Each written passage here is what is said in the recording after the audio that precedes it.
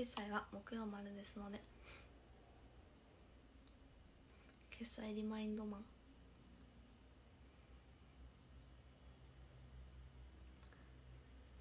決済リマインドマン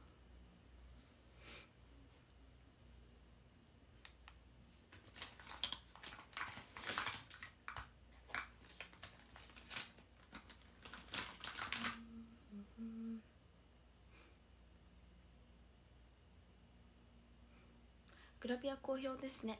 今日も見てくれましたか？皆さん。1日1回以上ぜひ見てください。PV 数今日も見てくれました？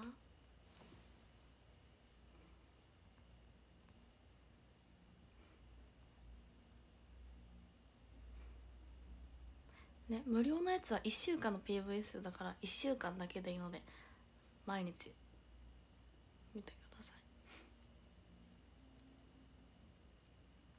そう毎日見たらまた山笠に出れる。私が。みんなが見てくれることによって。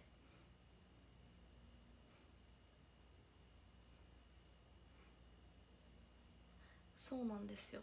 閲覧数っていうかなんだろう。そのページを開いた数みたいなの。そう。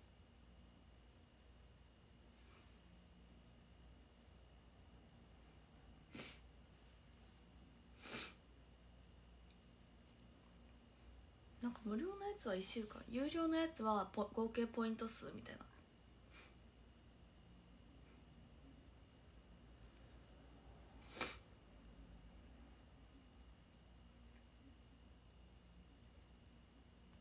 こんばんは。リツイート。でも「おはようツイート」にリンクは貼ったんですよ。なんか朝起きて「おはようツイート」見てタップできるように。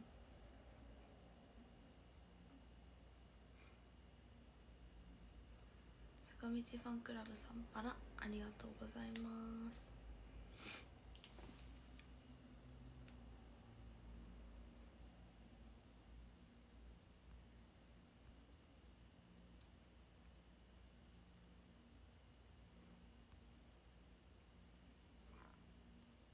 クショしてツイートしてる人がいるけどやめた方がいいね。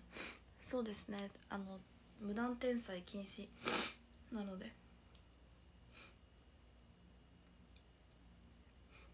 アクセス数。緑の花模様の服で手すりの下から見てるやつが良かった。お3枚目ぐらいのやつだ。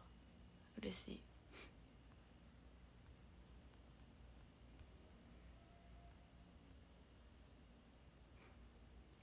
こんばんは。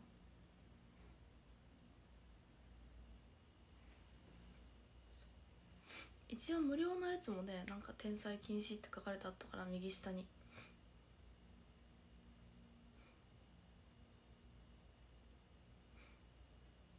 その画像をスクショして見るんじゃなくてちゃんとサイトに行ってから見てください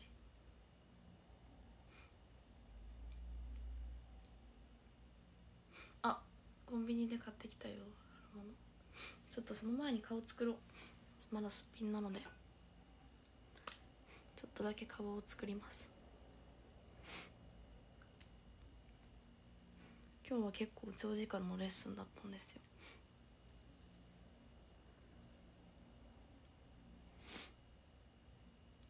すっぴんでいいのにちょっと眉毛だけ。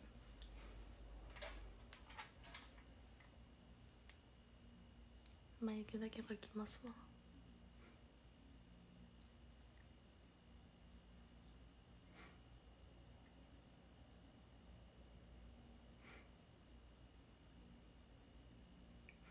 あのねツアーのレッスンツアーのレッスンが始まって今週はレッスン祭りですお疲れですかでも私は1時間半ぐらい寝たんですよそのメールに書いてあるように。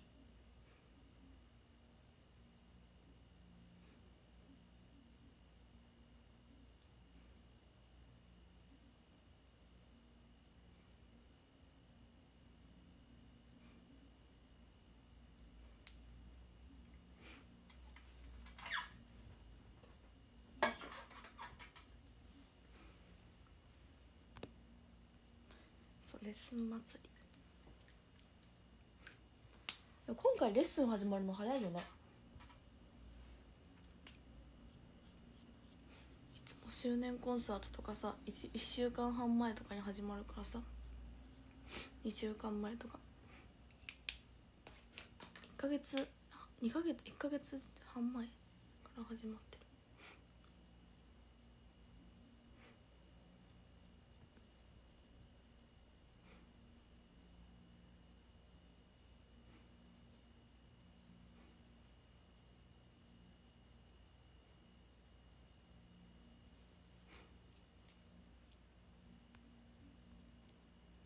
ねこんな1ヶ月半以上前から始まるレッスンなかなかない。なんかツアーとか。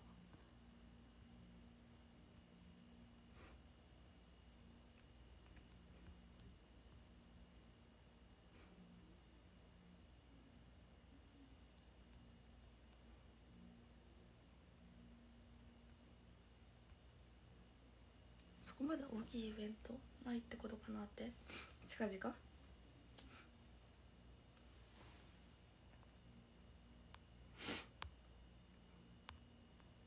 チョコボール買ってくるの忘れた。忘れるよね。私も普通に忘れてて。でもあの携帯のホーム画面もチョコボール。にしてたのと。まあ忘れてても一日配信前までに思い出したらいつでもコンビニ行けるから。ね。レッスンの帰りは忘れてた。だからもう一回家出た。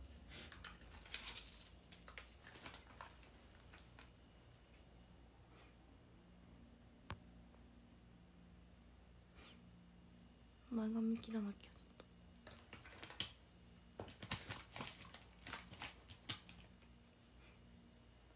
そうキョロちゃんチャレンジ。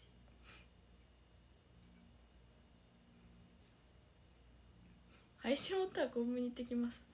するの？キョロちゃんチャレンジ。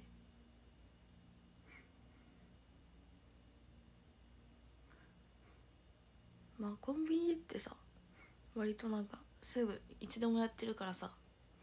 配信始まる前に思い出したらダッシュでいつでも帰るからまあ。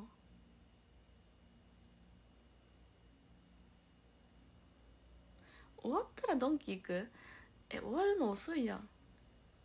それはもう明日からでいいじゃん。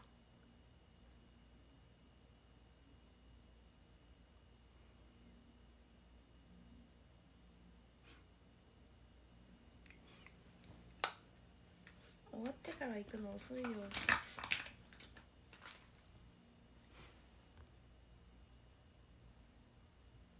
コンビニ行っても忘れちゃうそう。だからもうチョコボールだけを買いに行くんです。そう私でも今日チョコボールを買いにコンビニ行ったらヤクルト1000が5個ぐらいあって。朝もヤクルト1000違うコンビニで2個見て最近めっちゃ出会うようになったヤクルト1000に。朝セブンで2個見て夕方ローソンで5本56本見ました。いや買ってないんですよ。えいつも通り2本買おうと思ってそう。いつも結構2本ぐらい買うので1回で。2本買おうと思ったんですよ。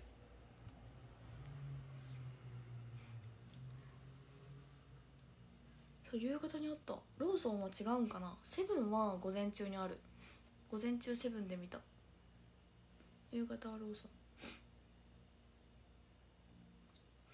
最近結構あるね。地元のスーパーとかね20本ぐらいあったもん。そうまあ2本買おうかなと思ったんですけど隣にあったヤクルト6本入りみたいな小さいヤクルト小さいの6個入りとヤクルト1000 2本買うのが同じぐらいの値段だったからじゃあこっちにしようかなと思って。そう。普通のヤクルトにした。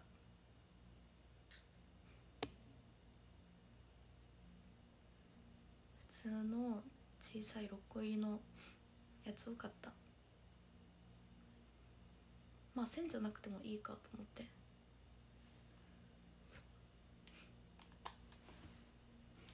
普通のやつ飲んだ。一日一本飲もうと思って。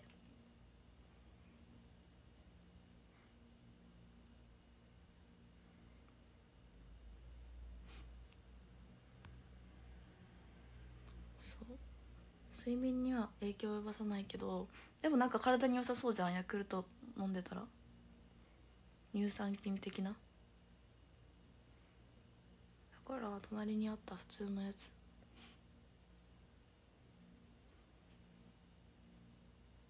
ヤクルト1000は165円だったかな。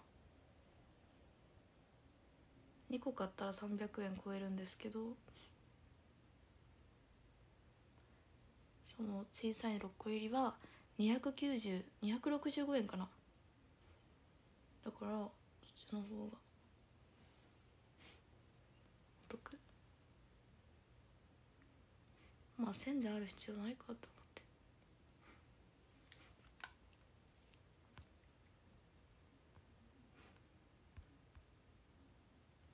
え見たことない？なコンビニね行ってたらよく見る。まあチョコボールねさっきまで凍らしてたの。まだ開けない前髪を切りたいな。前髪切ろうかな。で私は今日メロンを食べようと思って冷蔵庫に入れてるの。食べる23時,、ま、23時間前に冷蔵庫に入れるって書いてあったから冷蔵庫に入れたの。ついにメロンを。1日遅れたけどまあまあ。そう食べ頃食べ頃。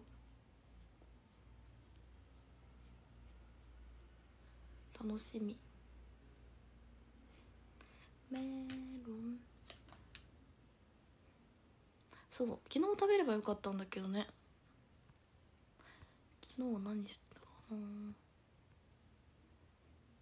そうメロン。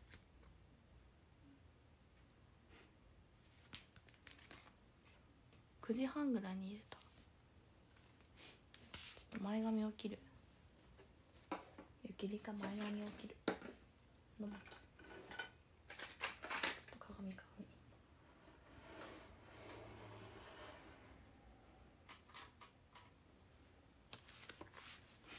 メロンリマインド。え普通に忘れてたんですよ多分。昨日。メロンってことが頭になかったから普段生活にないものだからさ普通に忘れてて。今日食べなきゃっていうのを。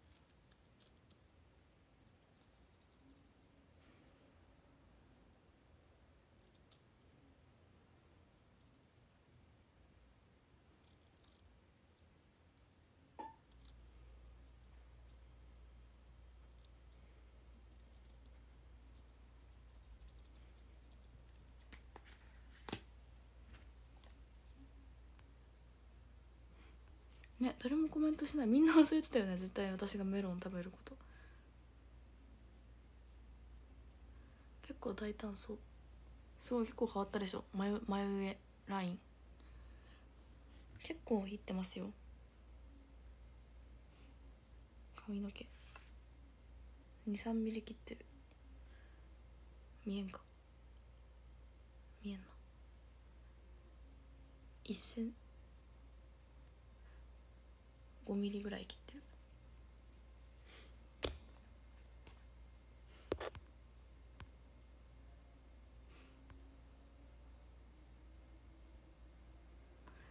失敗することはほぼないです。だってこれ一直線で切るだけなんでパッツン。失敗しないよ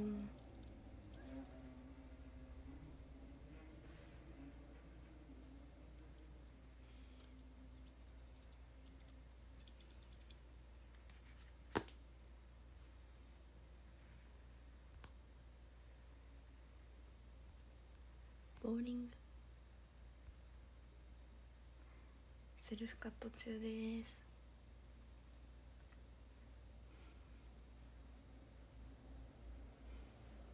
ほら綺麗に切れたでしょ？ほら。ライン揃って。いいですね。目にかからない。眉毛。眉毛下ぐらいで揃いました。とは鼻とかについた髪の毛を落とす。ネイルはねやってないですね今。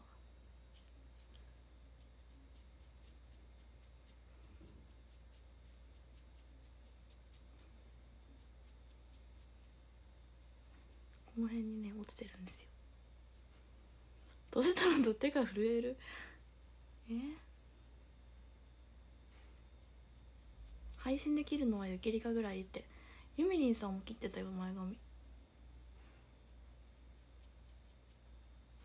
取れたかな？なんか。よいしょと。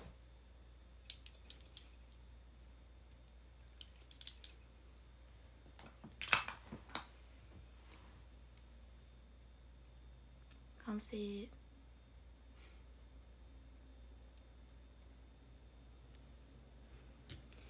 服部さんかわいいギフト。ありがとうございます。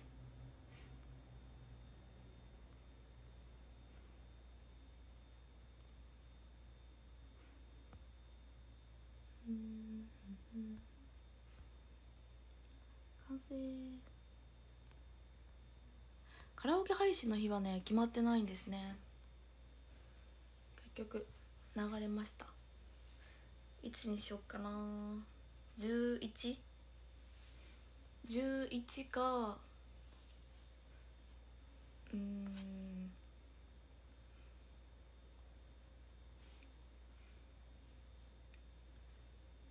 11か18でも18は誕生日近いから。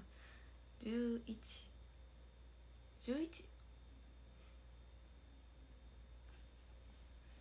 一瞬ついて。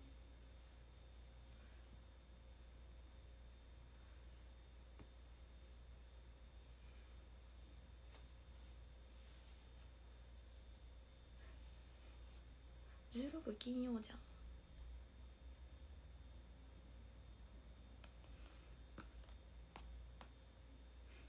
えなんで11はかお話し会違うとこ行くってこと？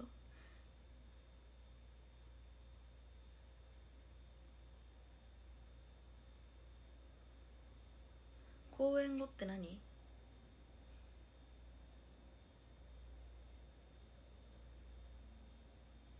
公演後は平日。14と2625か26え生誕祭の日ってこと？帰るの遅いよね。夜公演あるから。自分的には11とかがいいです。11か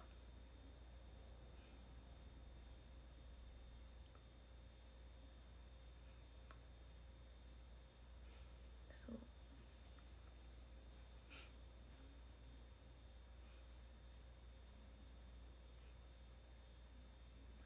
4日か11月来よかったですね。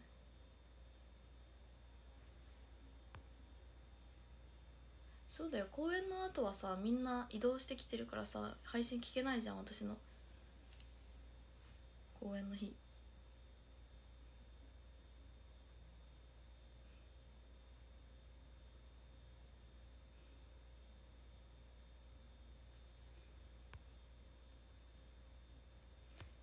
11かな。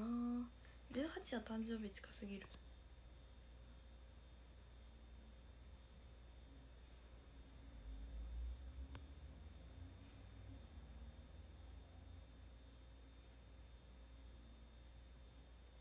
13は公演の日だよ。来る人とか来てくれる人はさ。喉乾いたな。ポンジュース飲むか迷う。メロン食べるのに今ポンジュース飲んだらメロンが美味しくなくなるよね。いいかな。16は公園ない。ん？ない。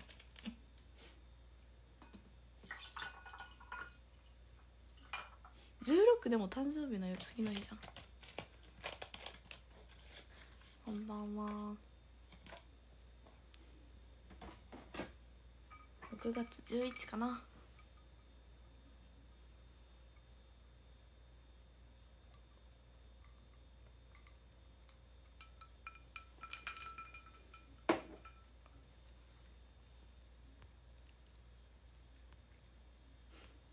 ポンジュースは避けた方がいい。飲んじゃった。大丈夫。4でも11でもいいよって。あじゃあ4にしようかな。じゃあ4 で4日でいや飲まない方がいいと思ってポンジュースじゃなくてちゃんとお茶も用意してたけど飲みたくてポンジュース。なんか好きなんですよポンジュース。飲みたくて。読んで OK って。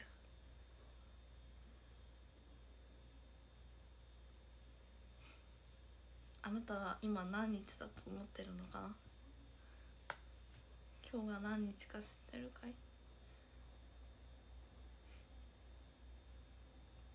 そう愛媛9位1位です。6月とは言ったら7月 ?7 月はまた別ですよ。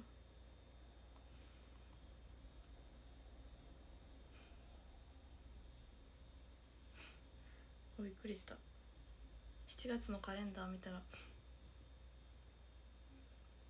お母さんの名前入ってたからあれ？と思ったら誕生日がだった。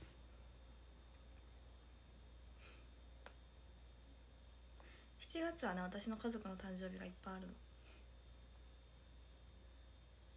あコーヒー牛乳飲んでない？え今日カフェオレ久しぶりに買ったんです。カフェオレ。カフェオレあっちにある。さっきまでカフェオレ飲んでた。タプタプですよ。飲みすぎだな。水いや普通のカフェオレ。紙パックの 500ml のやつ。カフェラテではなくカフェオレ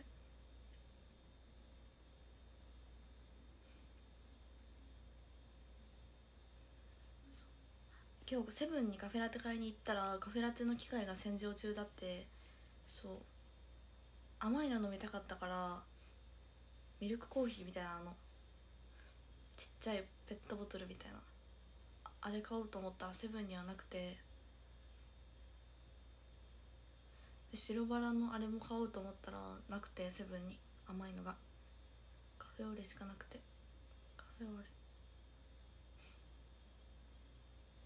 甘いのは飲みたいのに全然なくて欲しいやつ。で第5希望ぐらいのカフェオレにした。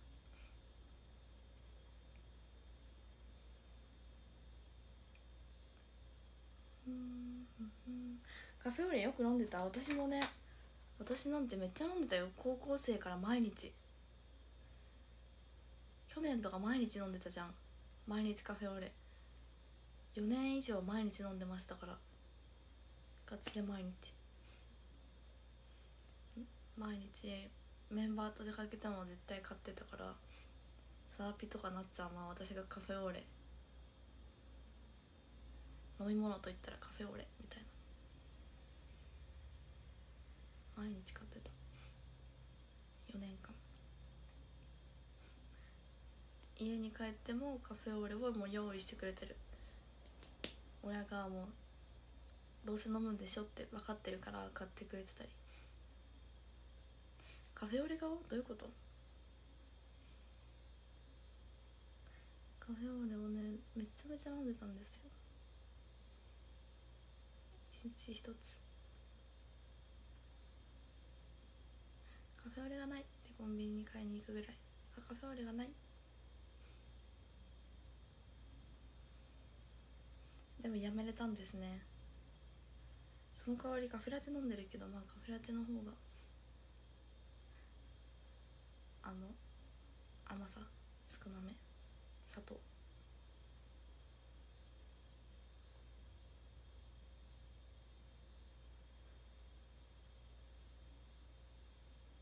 炭酸はね私あんま好きじゃないんですよね。たまに飲む。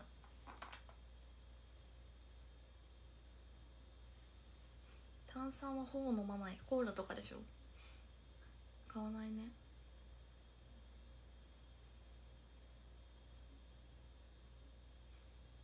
炭酸はほぼ飲まない。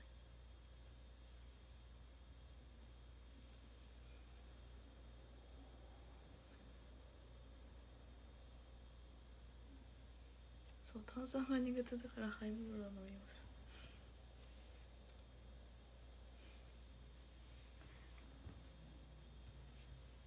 なんかお酒炭酸強いやつあるじゃん。なんかほろ酔い系とかさ炭酸強くない？なんかブドウと炭酸飲んでるみたいな。炭酸がきついやつあるじゃないですか。それに比べたらでもなんかハイボール炭酸なんだけどそれに比べたらあんま感じないんですよ。ほろ酔いとかめっちゃ炭酸なんか。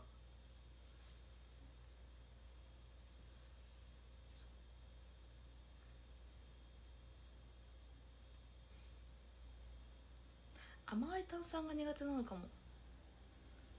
そう思ったら。こんばんは。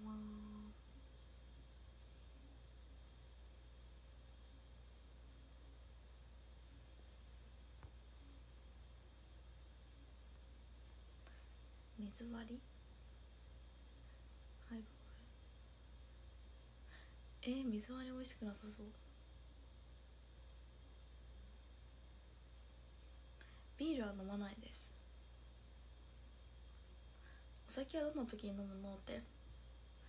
うん焼肉とか焼き鳥とかメンバーに誘われた時。夜ご飯？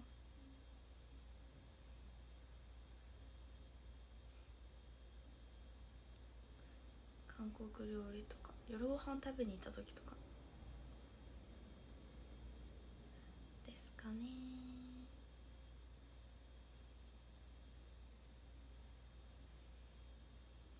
こんばんは。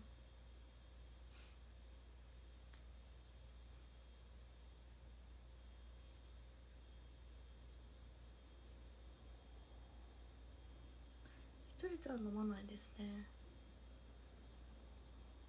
太りそうじゃん。一応なんか太りそうだから。飲まない？そんな。リボビタンデア飲みますよ。オロナミンリボビタンデアの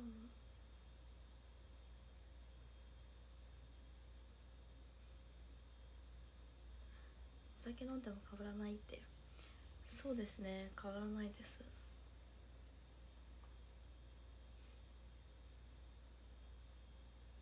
なんか炭酸いっぱい飲んだら太るイメージがある。コーラとかさ。その炭酸。毎日飲んでもすぐ太らない？確かに。まあ人によるんか。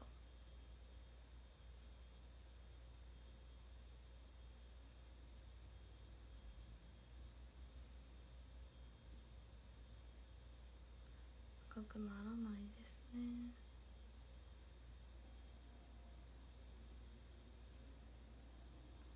こんばんは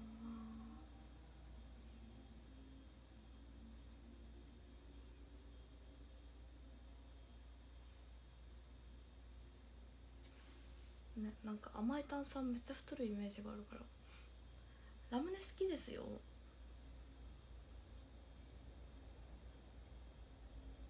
でメロンソーダも飲むんですよね。嫌いじゃなくてあんま飲まないだけで。カラオケとか行ったら炭酸飲みたい。メロンソーダ。メロンソーダ。まあ苦手じゃないんですよね。あんま飲まないって感じ。なんかめっちゃ運動した後夏。夏のめっちゃ運動した後になんかめっちゃ炭酸飲みたくなることとかがある。そういう時は全然買う。けどそういうのがない限りは飲みたくならないから。飲まないだけ。全然飲める。飲みたくならないって感じ。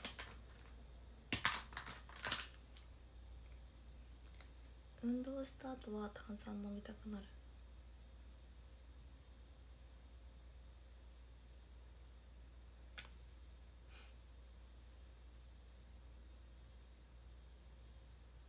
セブンアップなんだそれ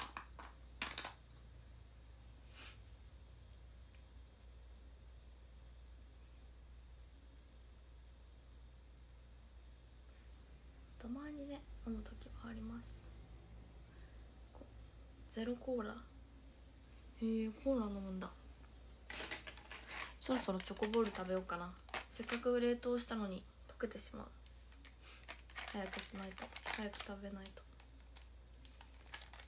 ことで今日の今日混ざった。チョコと。今日のチョコボールはいちご味。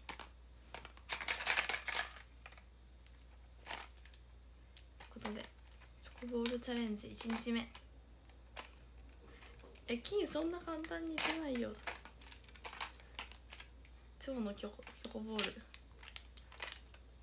ことで今日のチョコボールチョコボール1日目。あげます。ではい。はい。いませ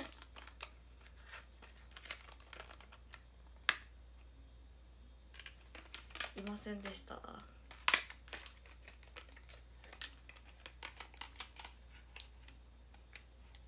そんな甘くないですね。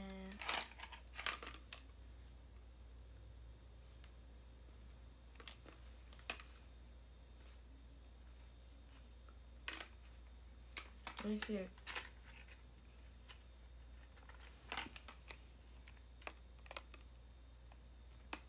金も金もいません。そんな簡単には結構出るんですけどね。1週間前に1個買って出たからさ。運なんかな。まあさすがにそんな連続では出んか。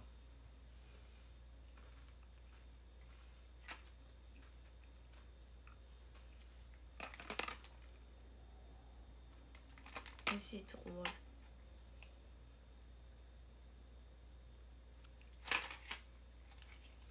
こんばんは。まあ私は3ヶ月ぐらい続き続けようと思ってるので。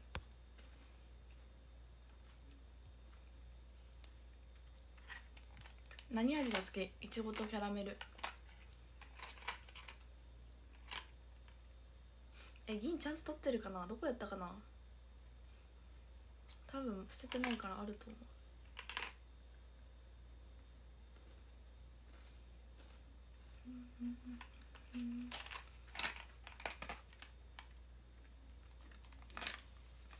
いちごもナッツ入ってます。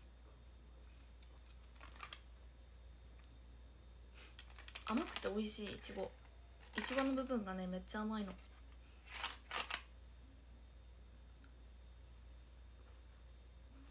うん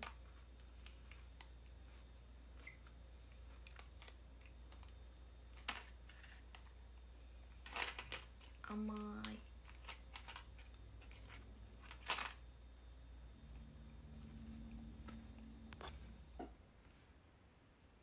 いね増量中いちご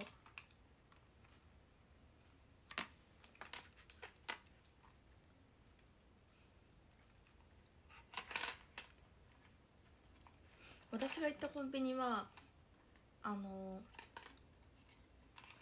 ナッツといちご味2種類だけだったんですけど両方ともマックスの状態あったの。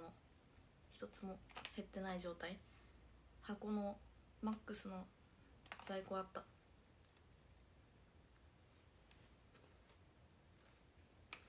箱ごとね買えばねあれだけど。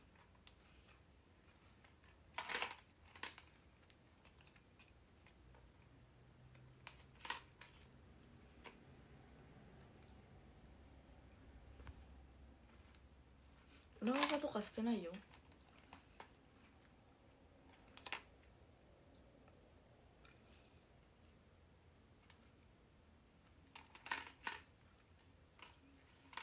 銀のキョロちゃんプレゼント送れないんじゃない？もういらないよ別に。もう一つは明日開けた方がいいです。1日1個しか開けない。ね多分明日行っても減ってないと思う。今日の夕方。在庫マックスで私が1個。あって。だからそこのコンビニでは私が1箱買ってしまう買買うかもしれない。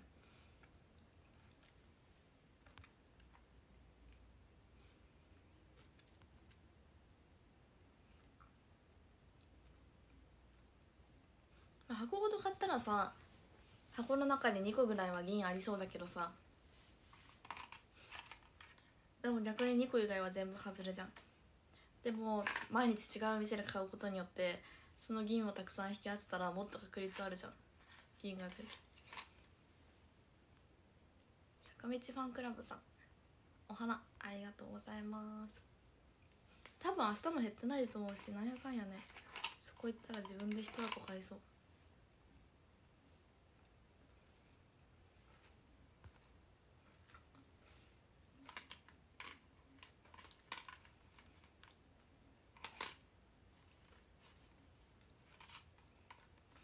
でも最近買ったたまたま買った1個が銀出てこれを始めるきっかけになったから。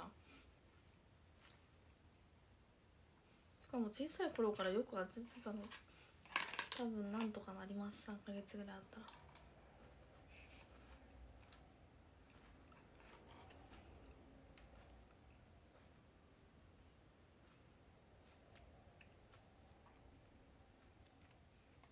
何もらえるの？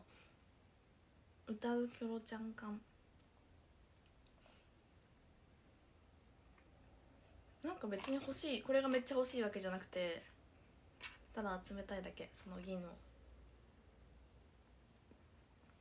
うん無料見た。ありがとうございます。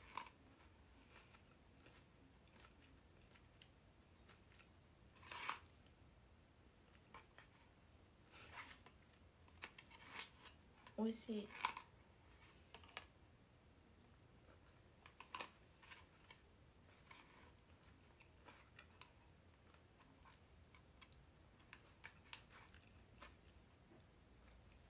ラスト。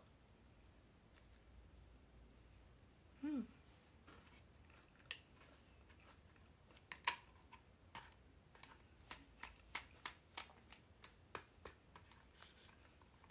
そう少なめ量。でも80円ぐらいなんで。でこれぐらいだからいいよね。全部食べてもさ罪悪感ないじゃん。全部食べたけどまあこんぐらいならさ一日摂取していいチョコの量かなぐらいな。美味しいです。箱が可愛い。いかわちい。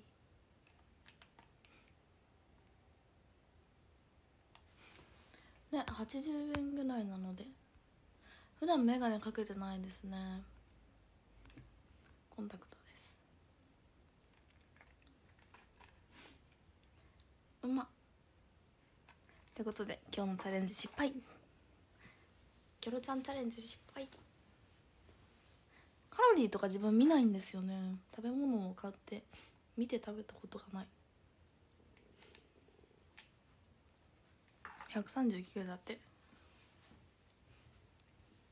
うん。こんばんは。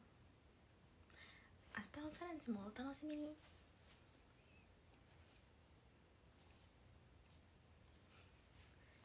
キョロチャレ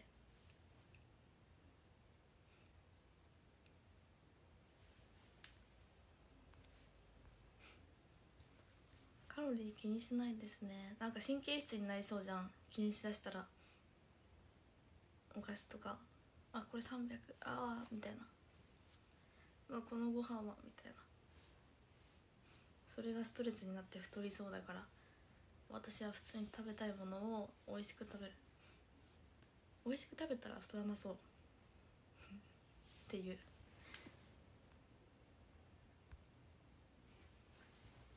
なんかね太りそうって思って食べたら太りそうだから美味しく食べた方が太らないです。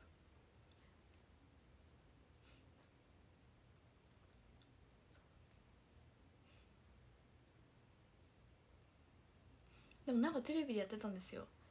なんか美味しいとか言いながら食べたら方がなんか太りづらいみたいなカロリー。そう。そう金か銀が出たら終わり。銀5枚か金1枚。テレビでやってたの。食べる時になんか食レポをしながら食べる人と無言で食べる人だったらその食べながらなんか「美味しい」とかやってる人の方が太りづらいらしい。テレビでやってた。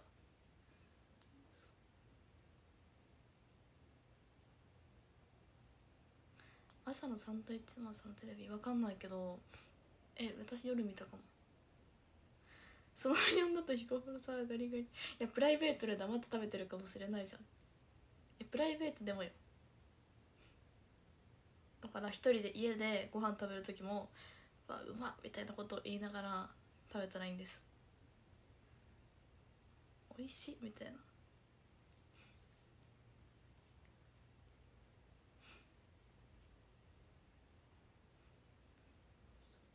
なるほどって。あなたは黙って食べてますか？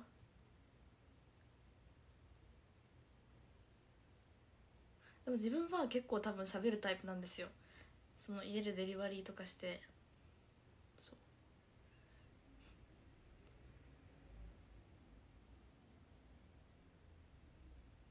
う。美味しい美味しい言ってます？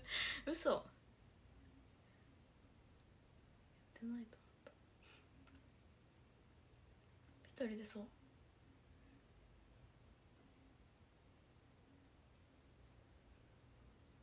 え美味しかったらなんか美味しいってならん？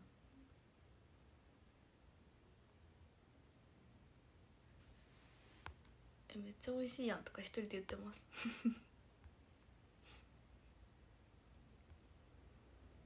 結構美味しいものを食べてるから。家でだったらさ言わない？なんか美味しいお弁当とかさ食べて。え美味しい？みたいな。美味しいと言わん。え言うか。黙ってることでもこれテレビで言ってたから私の説じゃないからテレビでやってたんだから。多分根拠ありですよ。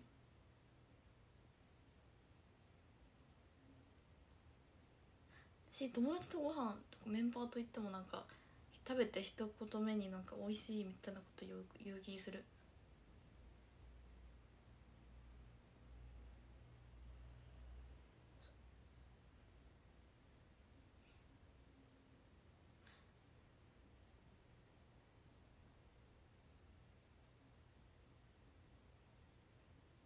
家族と言ってもさ美味しいねとか。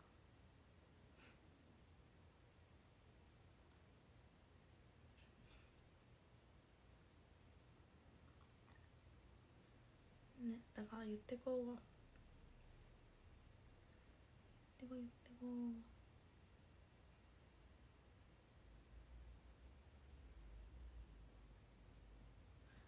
うまえ家で美味しいもの食べたらさうまっってなるよ。なんじゃこりゃ。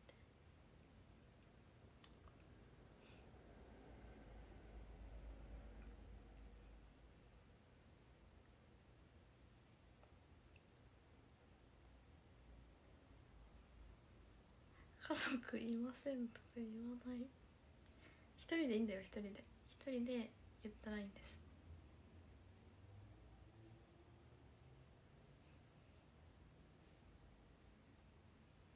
馬ってもいいですよ。馬。馬でいい。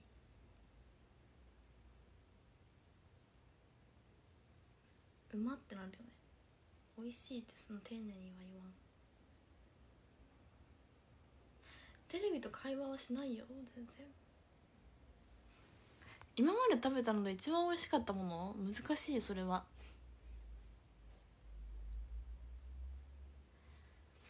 うん。一番は難しい一番って決めるのは。ここ最近で一番とかならできるけど。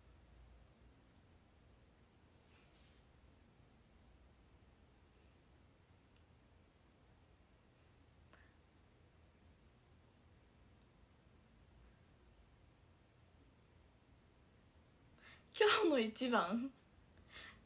今日の一番は今日今日のり弁食べたんですけど昼ご飯に。のり弁になりますかね。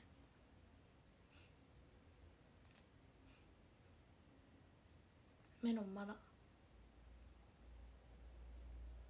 のり弁のちくわ天。衝撃的すぎるいやそんな日頃からさあのなんか食べないじゃんそんな。今日今日はだって普通にレッスンだったから弁当買って帰ってそう弁当しか食べてないです。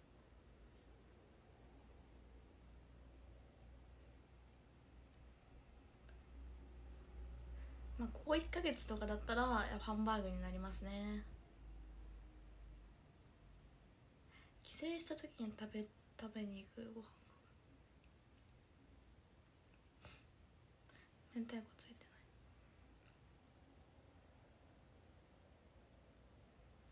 醤油マヨだったね。タルタル。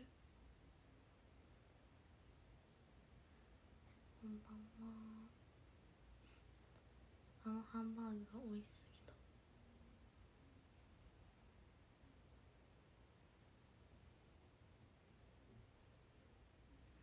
そうメロンはこの後食べる。あの包丁で切れるかな？あのさ白い。手が切れないやつ。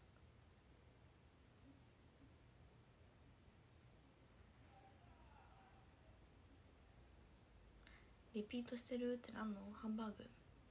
のり弁。あでもここ1週間で。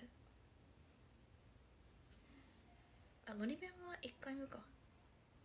この前食べたのはのり弁プレミアムだから。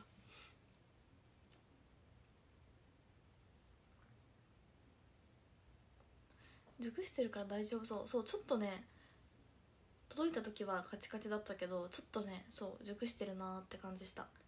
ちょっと柔らかいっていうか。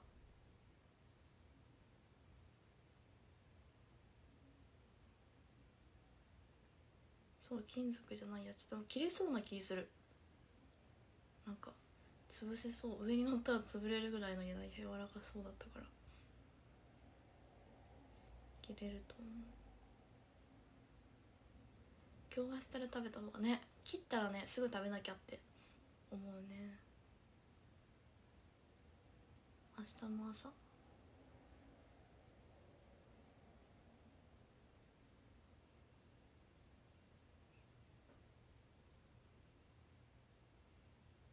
間上に乗ったらくるみだって潰せる？確かに何でも潰せるか。スプーンあるあるもちろん。いらえね意外とキッチン用品は結構揃ってるんですよ。なんかね料理しないけどなんか結構揃ってる。測る系のやつとか混ぜる系のやつとかすくう系のやつとか。アイドル以外のライブに行くことありますかって？バンドとかってこと？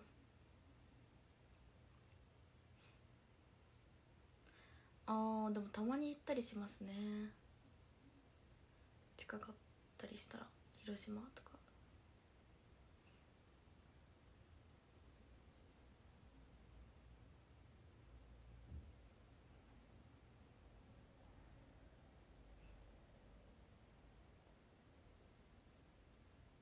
広島であったら時間があったら当日券とかあったら行こうかなってなる。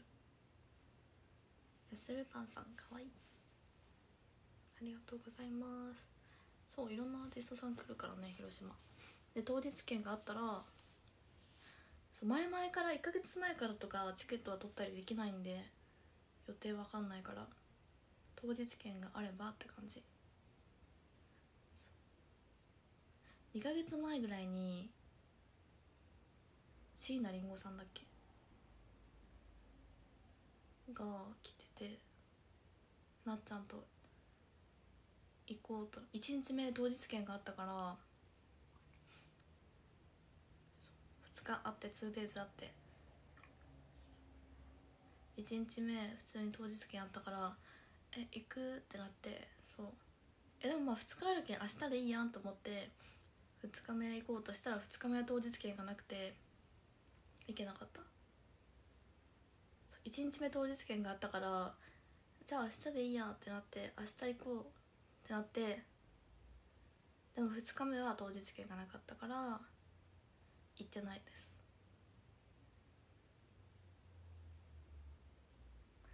そうでもその感じでマカロニ鉛筆さんのは行きました。当日券があったからなんかあんま詳しくなかったんだけど。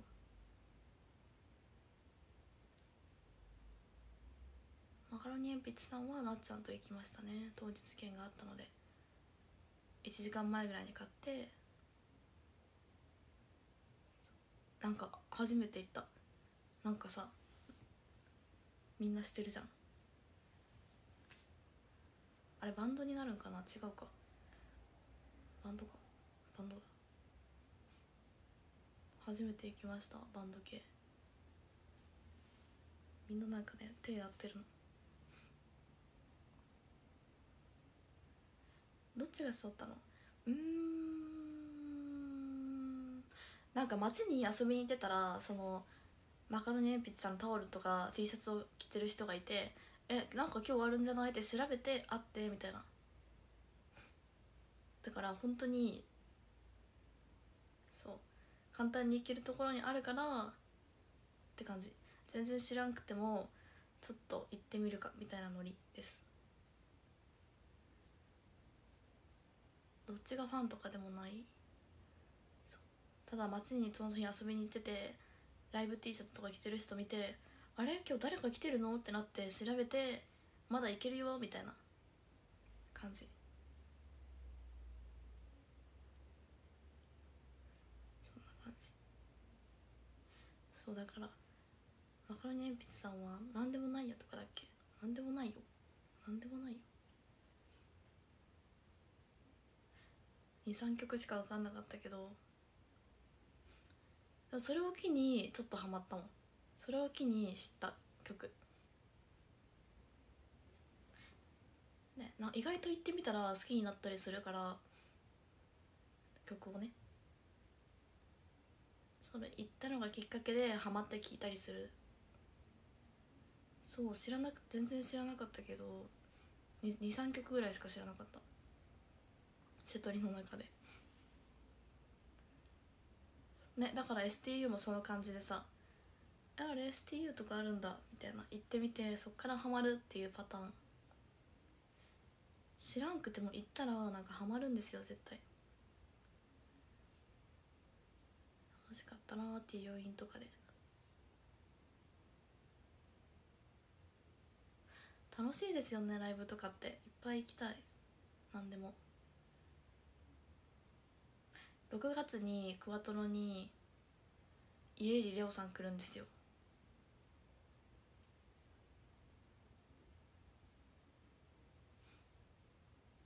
ちょっと気になってるけど。それも当日券があればって感じだね。休みかどうかも分かんない。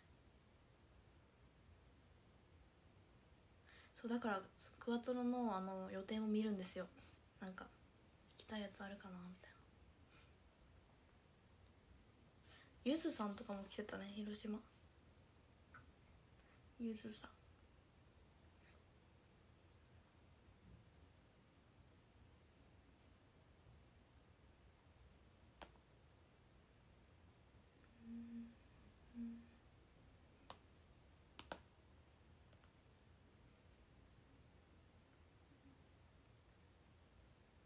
広島いろんな歌詞が来て羨ましい。ねマジで都会だと思います。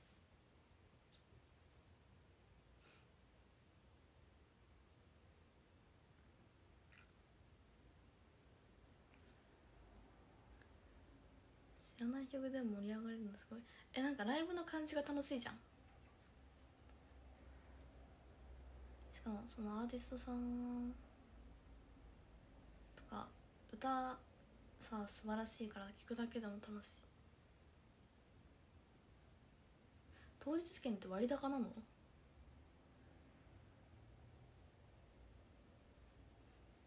うん。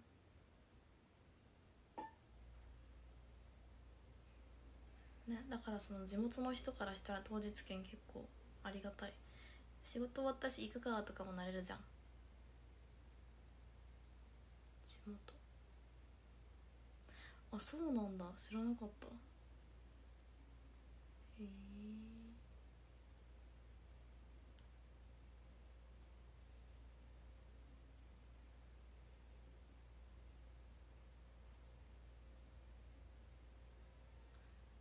こんばんは。でもギリギリまで予定がわからないとかの人にはめっちゃ助かる当日。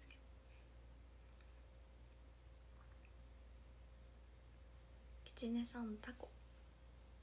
ありがとうございます。あそうなんだ。高いんだ。知らなかった。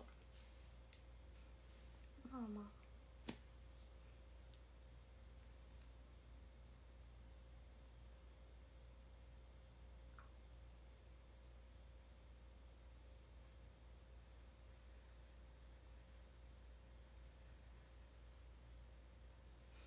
にみんなは STU 以外のライブ行ったりするの？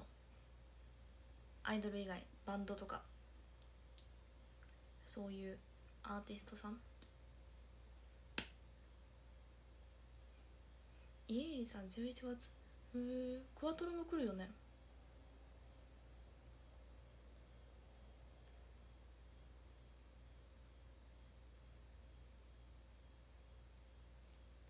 行かない。でもちょっと名前が知ってるさ方とかだったらさ。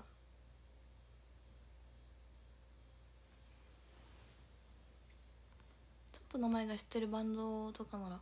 え和楽器バンド行きます？めっちゃ羨ましい。めっちゃ好き和楽器バンド。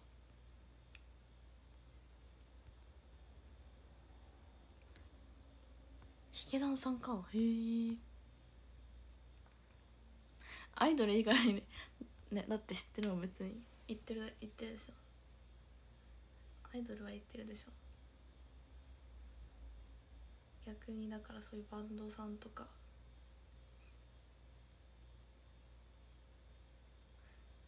長渕剛さん。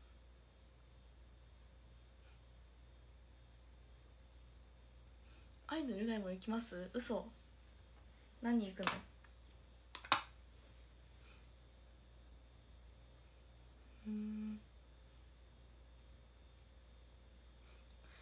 アイドル以外。バンドフェスとかなんかあるじゃん夏に。香川とかであるよね。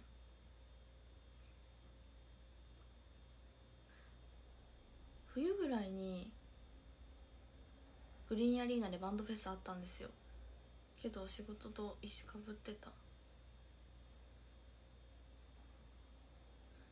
グリーンアリーナ。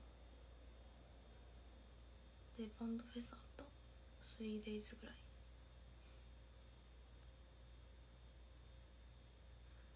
あ6月ですよね。6月18あ日曜日。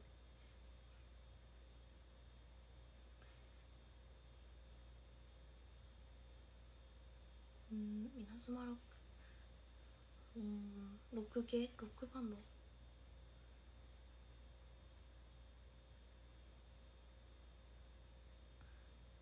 ウーバーワールドさん。ウーバーワールドさん。うんなどんな曲だっけすぐすぐ。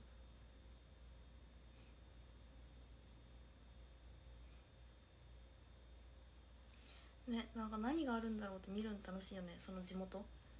広島だったらさ意外とどこでも行けるからさグリーンアリーナとかクワトロとか。あと HBG ホールとか。大体その辺ですよね。その辺。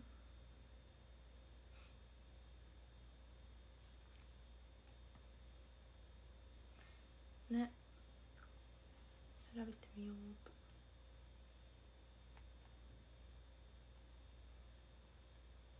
グラブクワトイベント予定。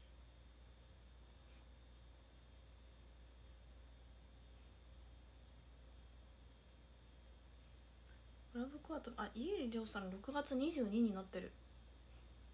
22あ STU あるって思った。そりゃそうか。6月8日。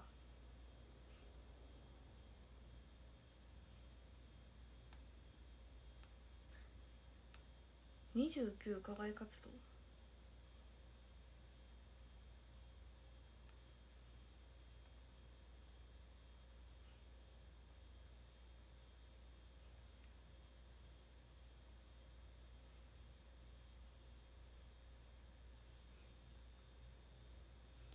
29はチャーミングトリッ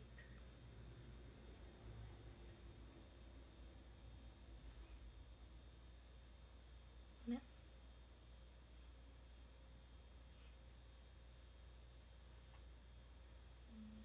山本さやかさん来る。7月2日。すごくない？クラブ。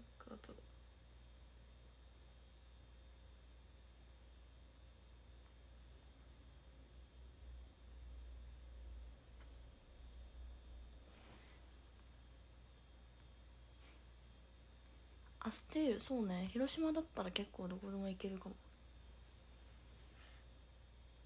さや姉さん来るね。すご7月2日。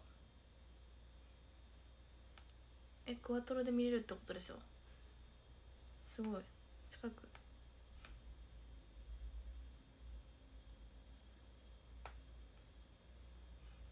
うん。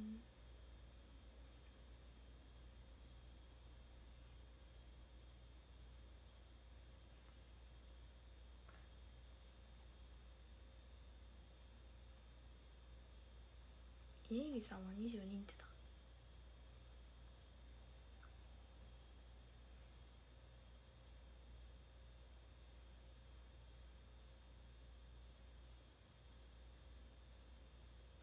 6月25は一般販売になってる。なんだ？空いてるのか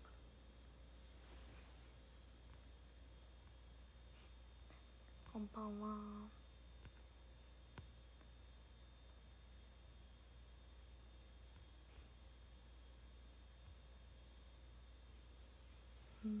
さや姉さんは7月2日です。7月2日。だからねその近くに STU の公演があったら残ろうって残って見れる。けどね。7月。日曜でしょ2日って。だから1日に花だれとかあったらそのまま広島に残れる。土日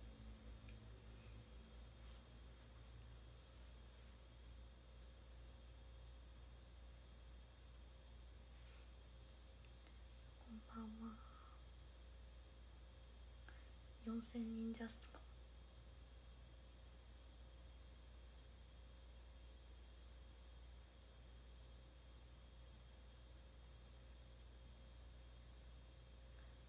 ふむふむ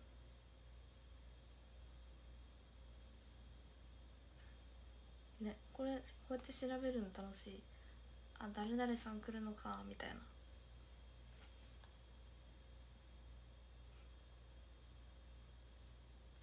どこのサイト見てるの？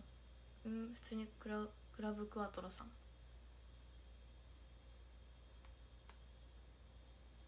の予定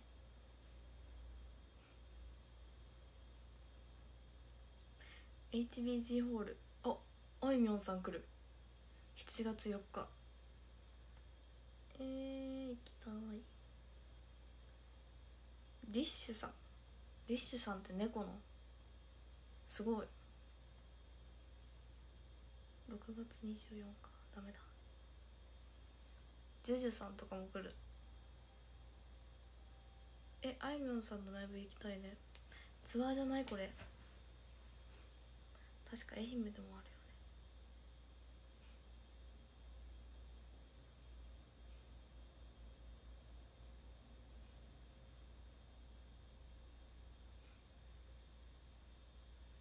るよね。ねすごいよね。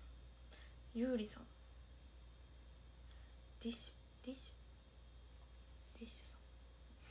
島次郎コンサート。ザ・ボーイズさん。えー、あいみょんさんのライブめっちゃ行きたいな。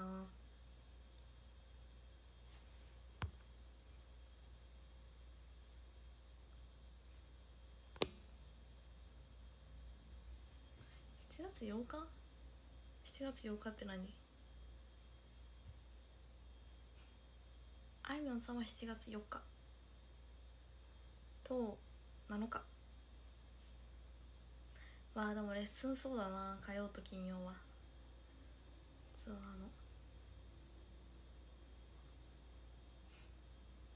てかなさそうあるんかな？平日ならワンチャン当日券あるんですよ。平日仕事とか学校とかあるから広島に遠征来れないっていう他県の方とかがいるから広島は当日券平日だったら当日券ある。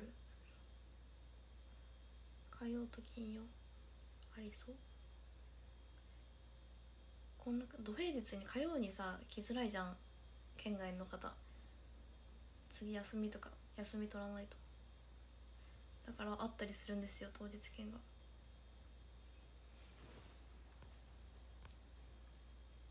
ディッシュさん行きたい？猫の方ですよね。猫のへえすごいね。めっちゃいろんな方来るじゃん。猫歌ってる方。猫になったんだ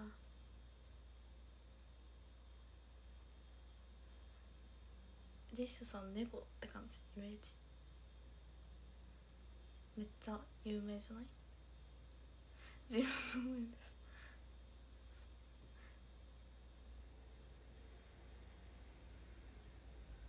へえいつだったっけ？ちょっと一応。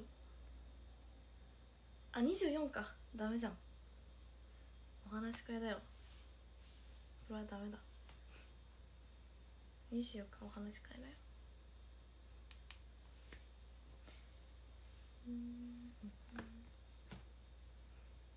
愛媛に行った時東京までライブ行ったことはない。大阪しかないです。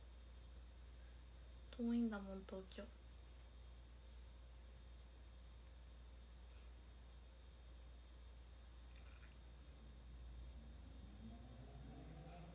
夜も無理です。大阪なんでお話し会。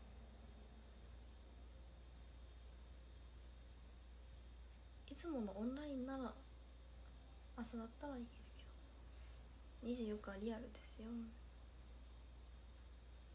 大阪です。愛媛から夜行バス出てますか？東京ですか？出てるよ。でも夜行バスは多分めっちゃかかる。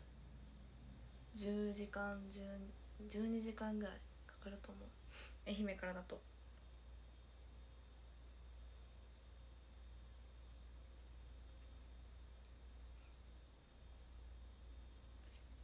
こんばんは。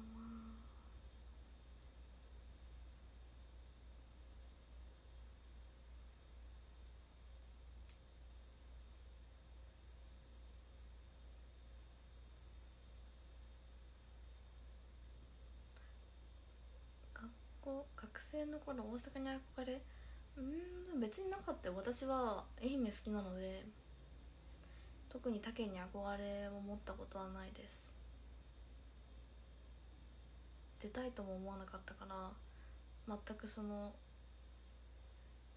都会の大学とかも視野に入れてない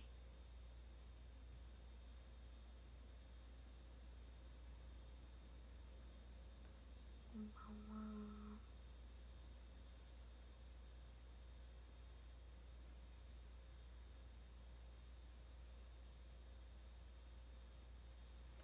12時間ぐらいかかるよ愛媛東京は。めっちゃ遠いよ。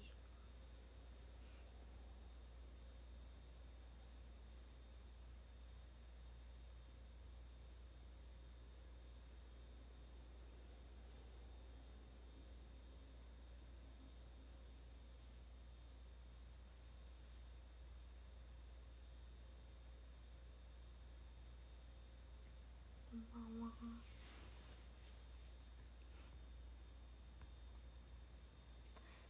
なんか足がむくむよね夜行バスって。周りにも愛媛好き多かった。そうですね。愛媛の人はなんか別になんか愛媛に結構満足してる感じが。地元に。なんか今就職して地元に帰ってきてる子も多いし今社会人1年目の代なのでちょうど地元で働きに帰ってくれてる実際英子さんも愛媛帰りましたし。愛媛帰る子多いかも。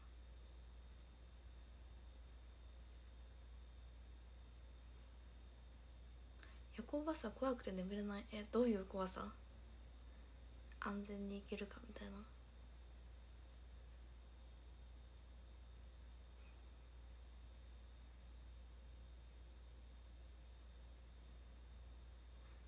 県外から愛媛に。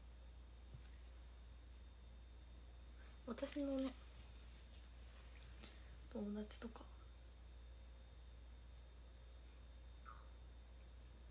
愛媛いる子多いですね。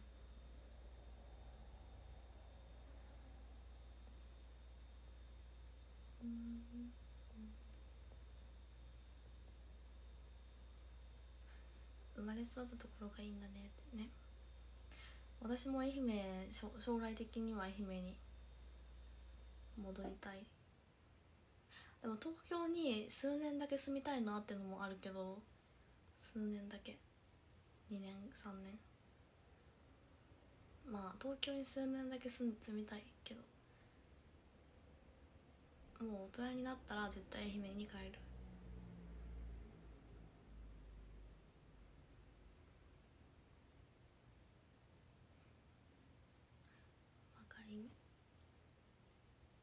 でもそんなね人生思うようにいかないからね。東京に住みたいと思ってもなかなか実現するの難しい。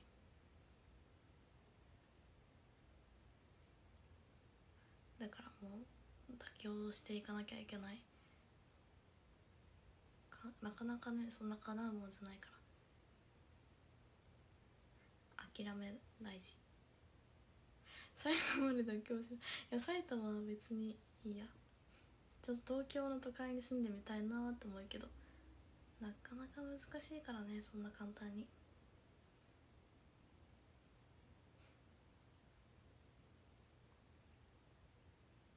仕事ないとそうね。でもまあ仕事なくても2年3年ぐらい住みたい。普通に。そこで仕事を探すんじゃなく。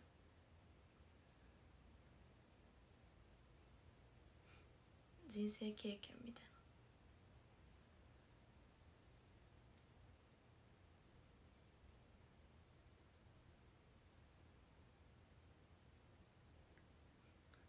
数年だけ。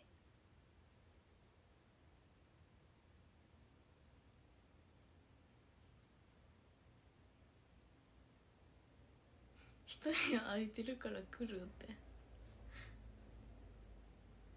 いいね。そうだけどお金が飛んでいく。いやそれはそうなんだけど。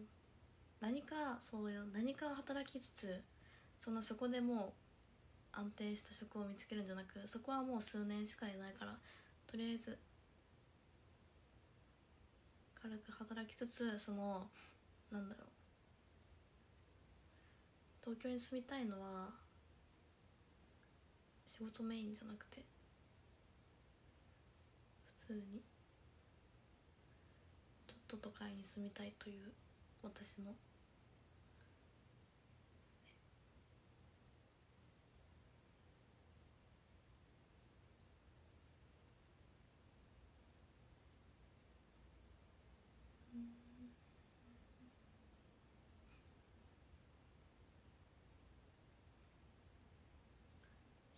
憧れっていうかねまあ別に1年でもいいんですよだから。とりあえずちょっと住んでみたいみた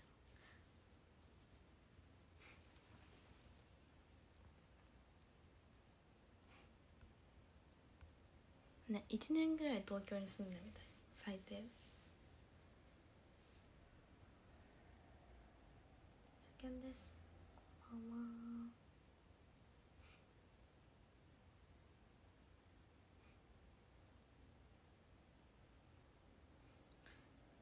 雪りかの生誕グッズ生誕ティはあるんですけど生誕グッズはないですね。生誕 T シャツはもう終わった。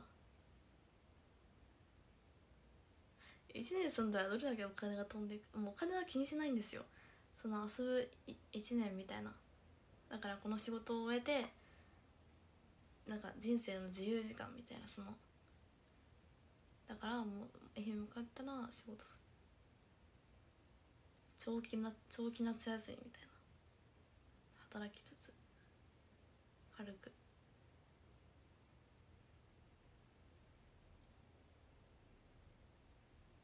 ていうのがいいなって思うけどまあそんなうまくいかないので多分東京に住むことはないと思いますね。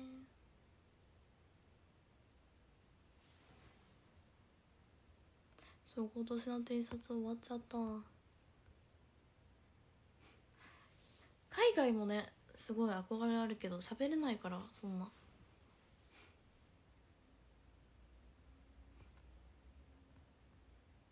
1年東京にいたけど3ヶ月で飽きた。早っ。1年ぐらいちょっとなんか楽しみたい。ちょっと1年みたいないや働きつつなんか働きつつニートではなく。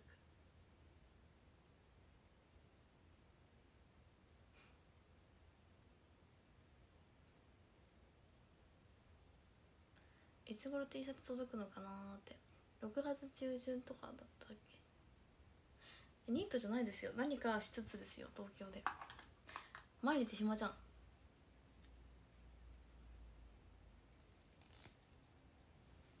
友達もいないし。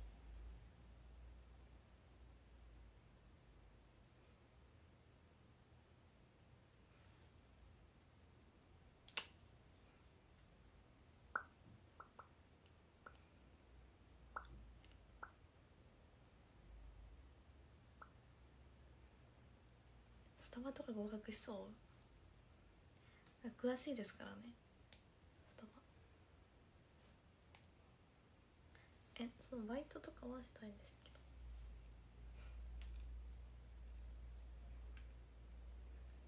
ど。まあそんなうまくいかないですよ。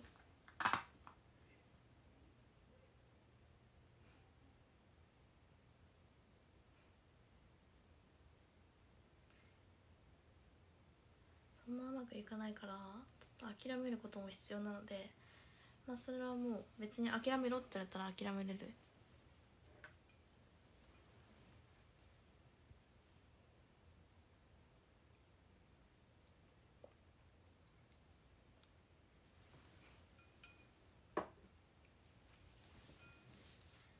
諦めろこんばんは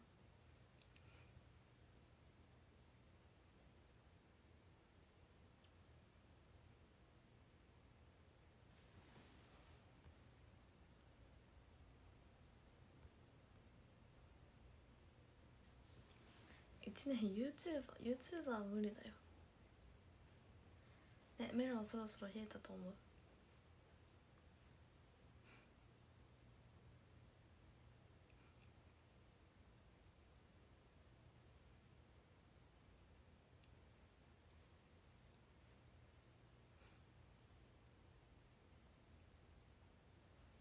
でも意外とさ東京に出る若者って多いじゃないですか。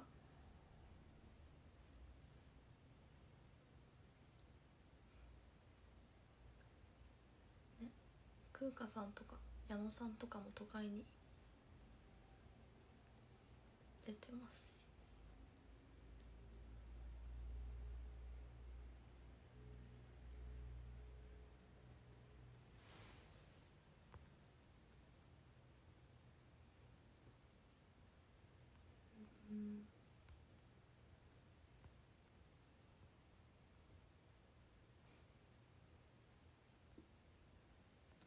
丸ごと1個食べてお腹壊さないね1個は食べ過ぎだからね半分。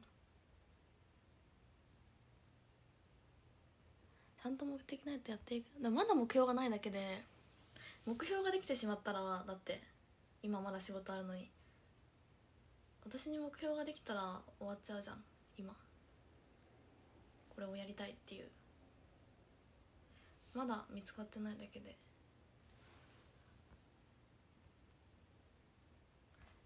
丸ごとメロ。ン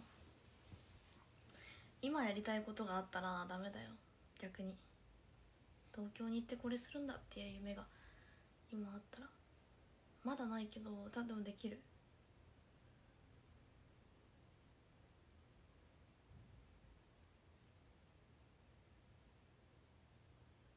東京にいる友達はいるよ。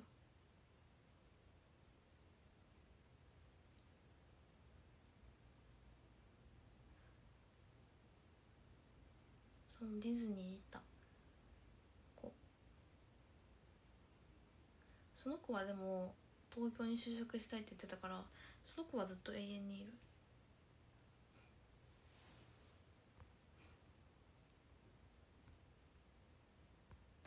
M ちゃんそうです。M ちゃんはずっと東京いますね。こんばんは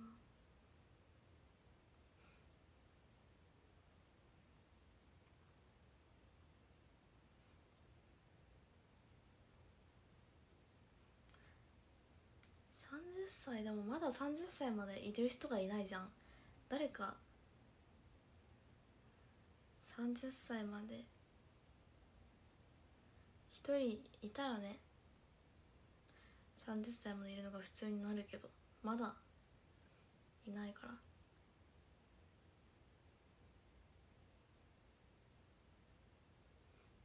そう現実的ではない。あと8年もあるんだよ。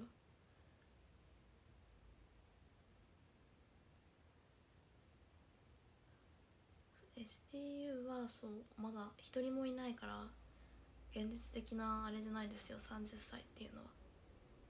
今一番上の方でも26とかだからあと4年ありますし。一番上の年上の方26今年。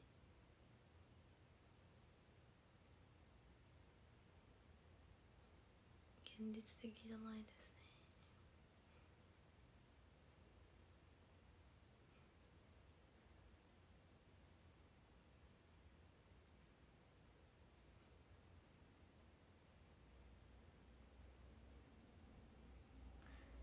かも AKB さんですらそのゆきりんさんとかさそもそもその30歳までそのいらっしゃる方が素晴らしいんです。なかなかないですよ。なかなかですよ。27に見えてしまう私？マジ？初めて言われた。今まで言われた見えるって言われた年齢で一番上だ。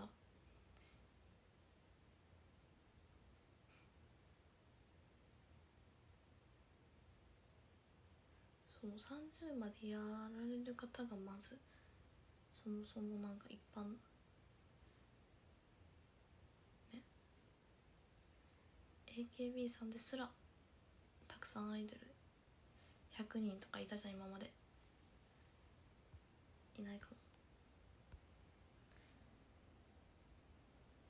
18にそれは若いけど。でもたまにね10代って言われることはたまにある。19とか。言うても19だけど。ギリまだ19すっぴんとかだったら。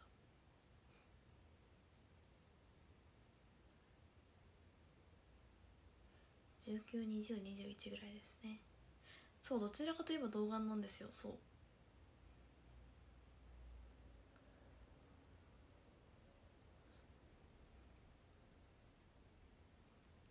なんか顔の肉がついてる方が動画に見えるらしい。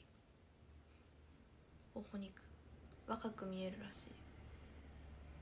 こけてきたら老けて見えるみたいな。私は結構どちらかといえば童顔です。大人っぽい顔というよりは。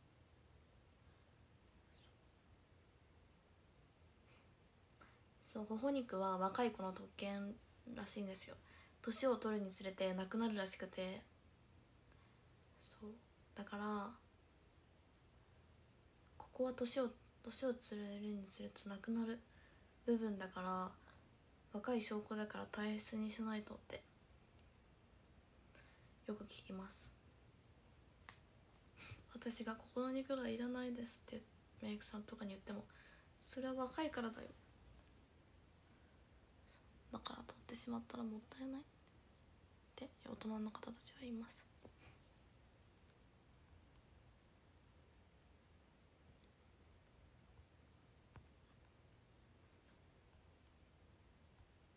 ね年を取るにつれてここの肉なくなってくらしい。こけてくらしい。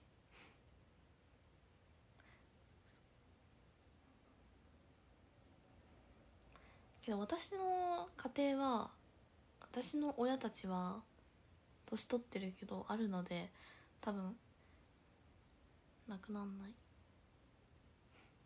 私のもうこれは代々の遺伝なので。ばあちゃんですらあるからほっぺ。ばあちゃん投げほっぺできます。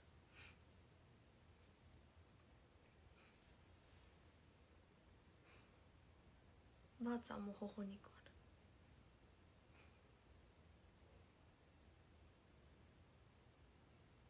お父さんはないですよ。母方の家庭ですね。お父さんは母とは血はつながってないから。違います。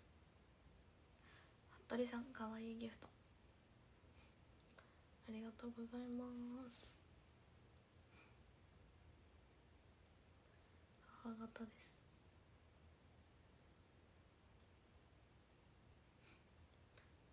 男性はないかもね。でも弟はないや。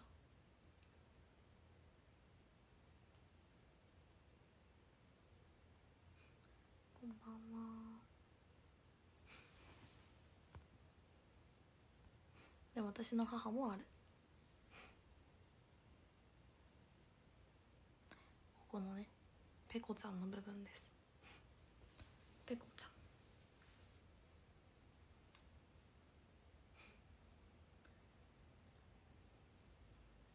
まあでもねその母もここの肉があるから若く見えますね。年齢的に。年齢より。顔の肉がこけるほどね老けて見えるから肉がここについてれば若く見えるので。ねいつか33歳とかになった時に20代に見られたいですもん。35歳とかでも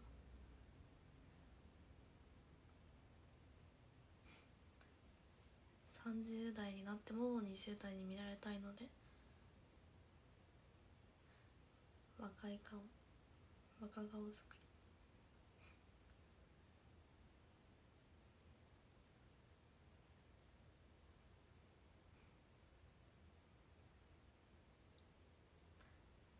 り。ね努力次第ですよね。結構芸能人の方とかさ若く見えるじゃん。だから綺麗なまま年を取っていくっていうか。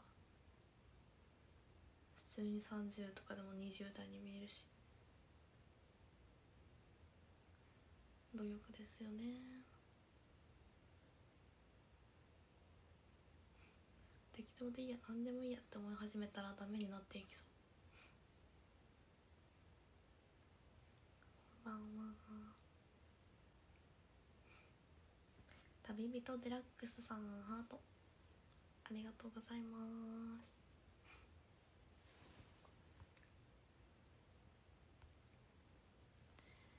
ね芸能人さんすごい。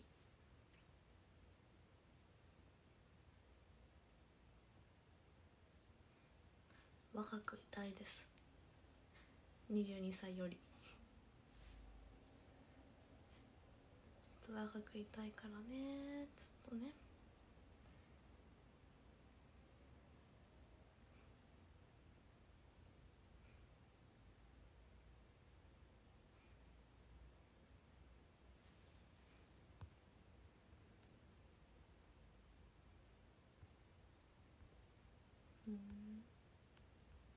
いや十分若いですよ。まだ若い。でも今後も若くありたい。30歳とかになっても。30歳はまだ若いか。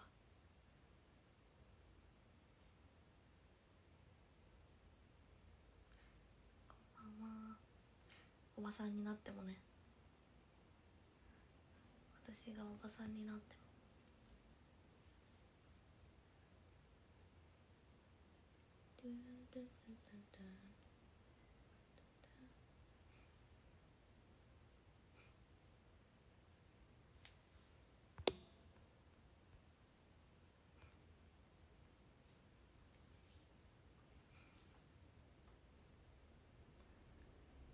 ばんは。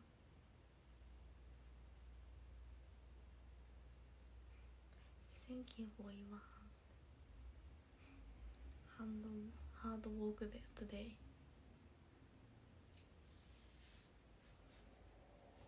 なんで英語なの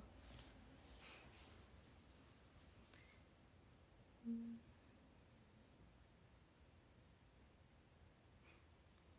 ね森高さんめっちゃ綺麗ですよね30代になってコスプレしてくださいって。え？珍しくない ?30 歳でコスプレ。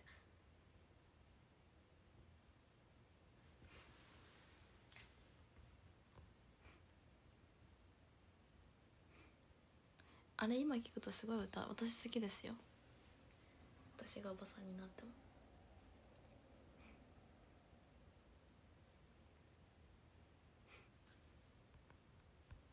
需要ある？え？マジ？結構いる？マジ？見られてるんですねじゃあそういうの。私のとこには情報ない,、ま、ないですよ。そんな30歳のコスプレ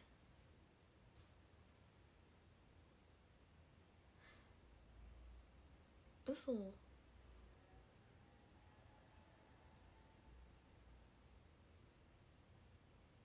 ね森高さん最近あのテレビで見たけど全然変わってない？ね音楽番組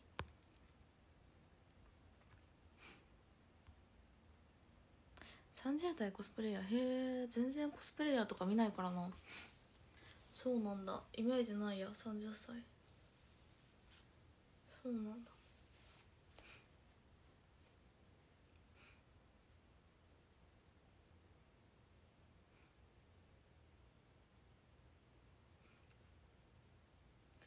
その森高さんの音楽番組のツイッターのリプに「全然泳ぎに連れてくよ」ってあって。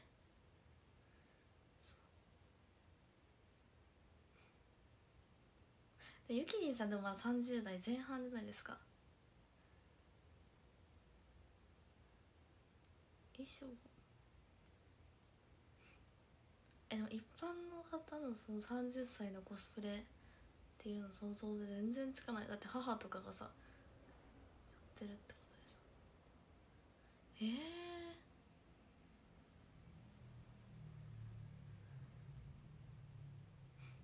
ー、うん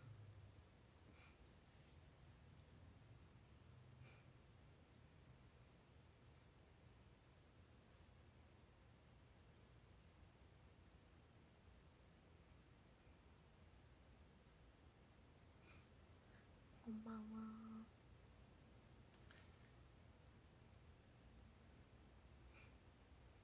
なんかツイッターのリプとかってなんかすごい面白い方いるから面白い見てて。うまい。うまいっていうコメントが多い。全然泳ぎに連れてくよって書いてあって。歌の歌詞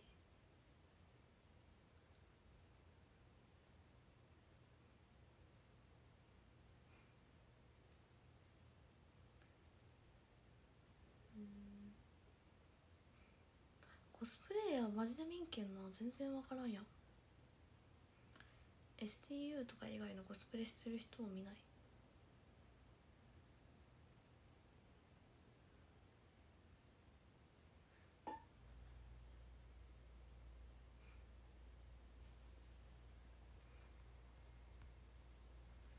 そう。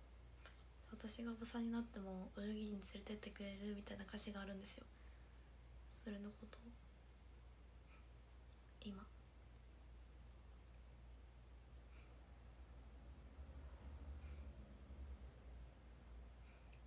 うん。コスプレそうね。イベントもないしね。そうですね。なんならメイドさんとかもいないですしそんな。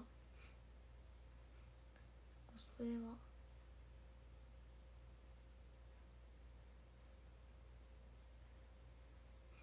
全然見ない。ハロウィンのイベントとかも行ったことないし。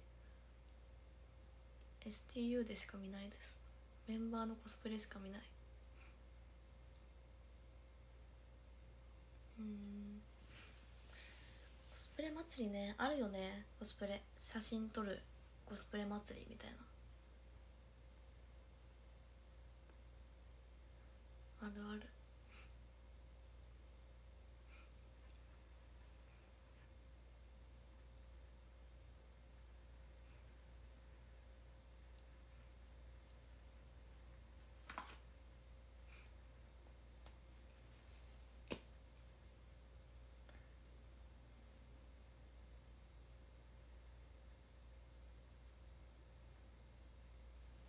ウィンハロウィンのやつも行ったことない。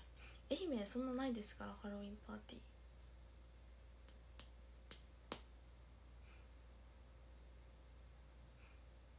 東京とか仮装してさハロウィンするじゃん。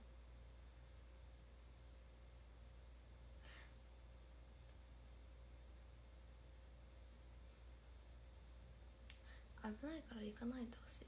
私でも人混みが苦手なんですよ。人混みが嫌いなんです。人混みと騒がしいのが嫌いという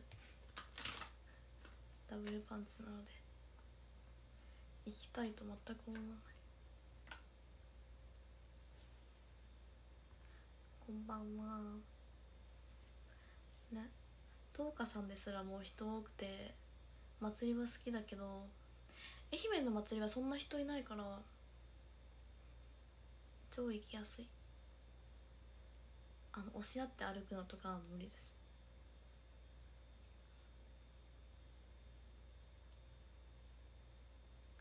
ね東花さん多いよね。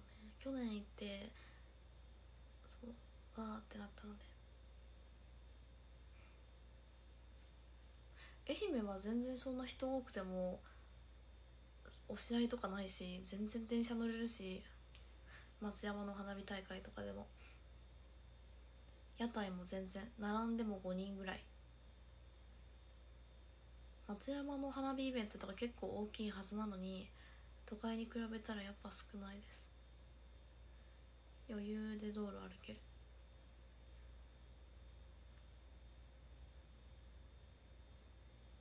人数が少ないですからねそもそもの。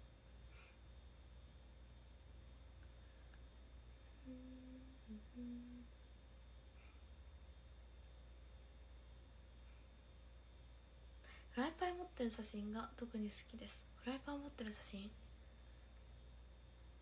初めて言われた。それ好きって。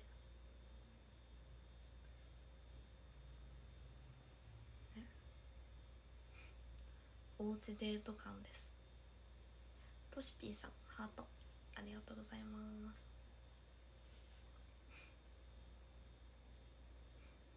松山の花火イベント結構大きいですけどまあ土地も広いんですよ。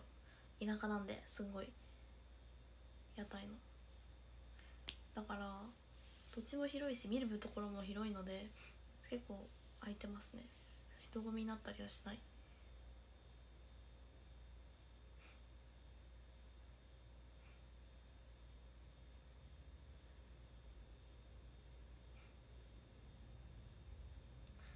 キッチンの写真置き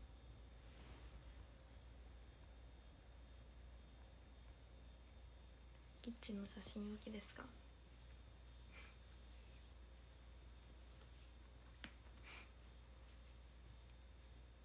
私はあのアヒルボートだけの中の写真が好きです。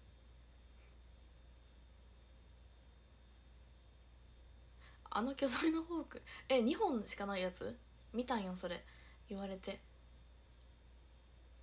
あの2本フォークみたいな2本のやつ。2本刺すとこが。あああれ？なんだろうねあれ。チキンとか刺すんじゃない？はって。2本歯があるやつでしょ？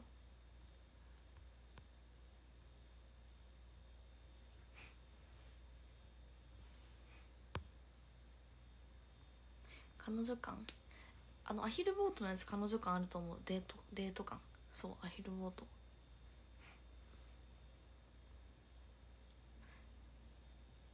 アヒルボートの隣に乗った目線ですよあれ。自分はあぐらのやつそれめっちゃ言われる。あぐらのやつ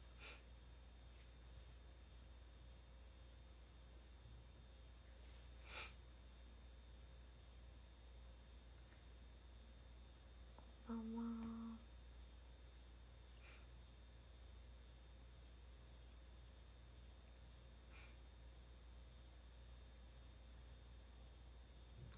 どこんだろうっていう目線で見てます？あの場所？行きたいですか？アヒルボート乗ります？一人で。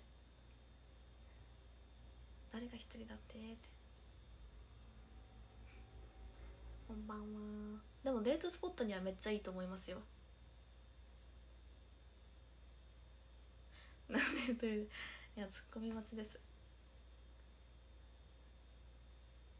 ツッコミ待ち。めっちゃデートスポットって感じだよ。アヒルボートも2人だし。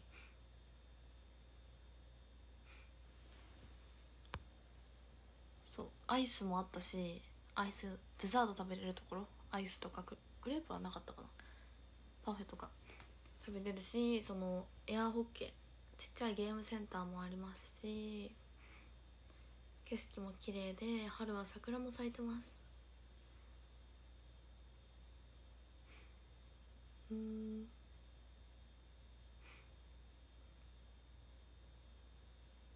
アヒルボートちゃんと乗ってみたいな遠くまで。撮影だったから本当に入り口で写真撮ったぐらいなんでちょっと乗って湖をさ乗って湖走ってですね。誰が一緒に乗ったの？ってカメラマンさんですよ。2人乗りなんで。カメラマンさんじゃなかったら誰が撮るの？ってなるじゃん。カメラマンさんしかいないです。あの写真があるのはカメラマンさんと思ったから。きつねさんあじさいありがとうございます。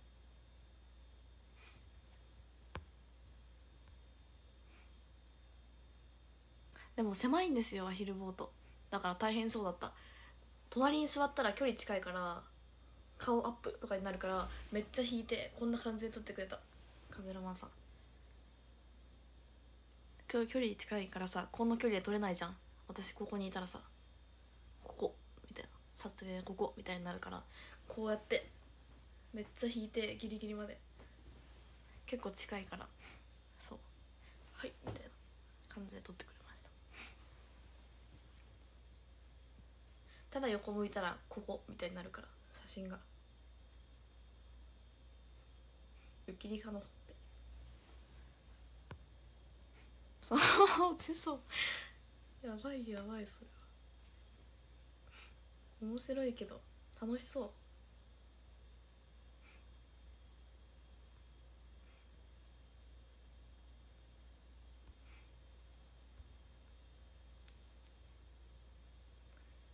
ジェットコースターへえジェットコースターのカメラマンさんすごいよね。なんであんな無心で後ろ向いてさカメラ持って乗れるんだろうって思う。カメラマンさんさジェットコースターの後ろ向いてるじゃんこうやって。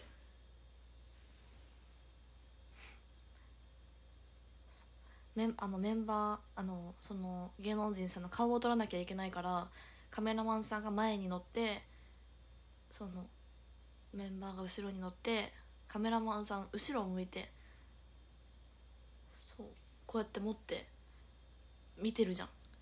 叫ばないし声入るから。無言でさ後ろ向いた状態で落ちていくんですよ。すごくない？そう GoPro はここにつけてるよね。あの今回と前回の桜坂さんの番組が遊園地で前回ジェットコースターだったんですけど前にカメラマンさんが乗ってこうやって撮ってた。メンバーは GoPro ここに。で表情は前にカメラマンさん。GoPro だけじゃちゃんとした映像が撮れないから前にカメラマンさん乗ってるんですよ。そう。ちゃんとした2人の図を撮る。みたいな。で後ろ向きのカメラ持ちながら乗ってて前見えないのにめっちゃ怖いじゃんと思って。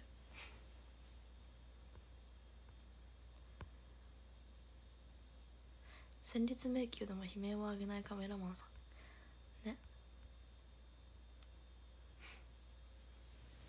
桜坂さんのやつ。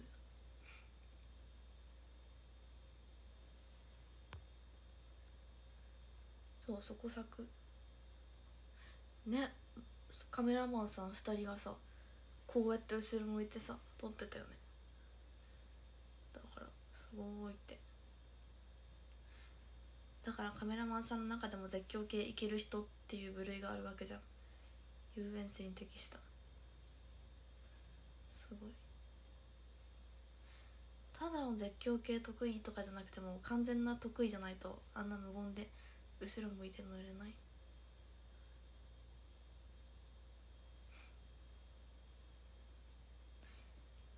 お化け屋敷のカメラはでも事前に把握してそう。ここ出てくるから。みたいな。事前に知ってたら。ここ出てくるから。メンバーの表情を抑える。みたいな。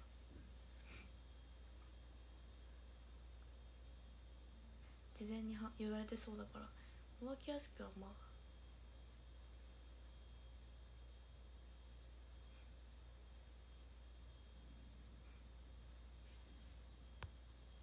かにあのカメラ重いしね確かに。STU もお化け屋敷やってほしい。夏にいいよね。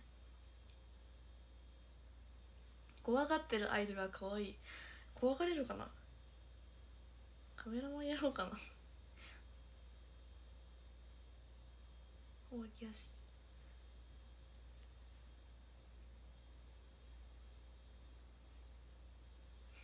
最近 AKB さんがさあの24時間配信みたいなことをやられてて泊まりの。思い出した。あの STU の24時間配信を。私ジェットコースター無理です。お化け屋敷は行きます。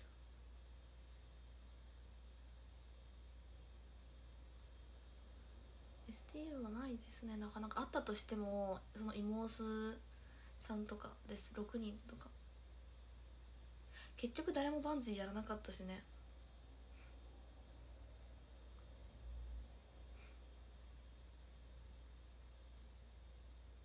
サラピは多分お化け苦手。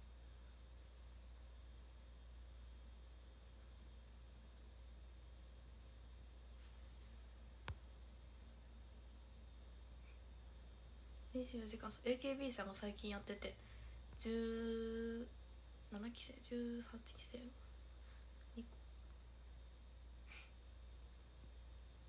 個。お化け屋敷のお化けにお疲れ様って言ってそう。逆に面白いけどねそういう人でも一人ぐらいなら絵になる。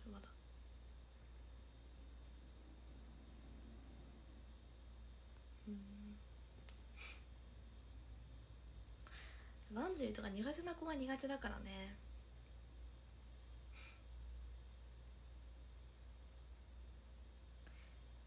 ね。バンジーあるってなった時にみんな嫌がってたもん。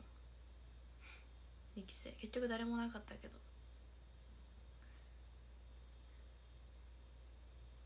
田中美穂とかもバンジーさせられるぐらいならやめる。みたいなレベルで。嫌がってた。今だから。サラピなんか悩んでるみたい。へえ珍しくない？い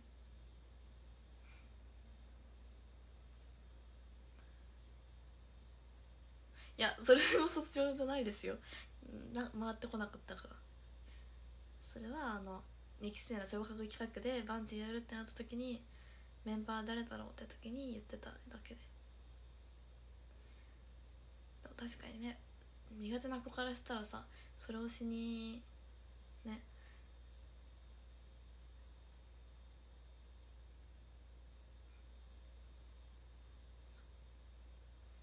なったわけじゃないしそれがあると。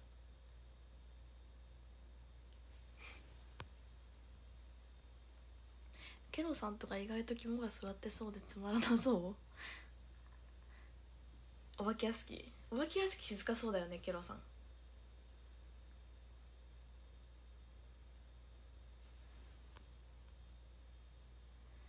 今日のサラピさん配信は何？何っぽかった？何？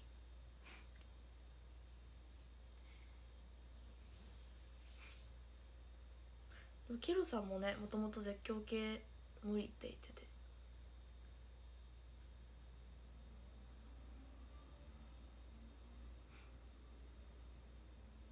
バンジーと滝行ならどっちがいい？滝行に決まってますそれ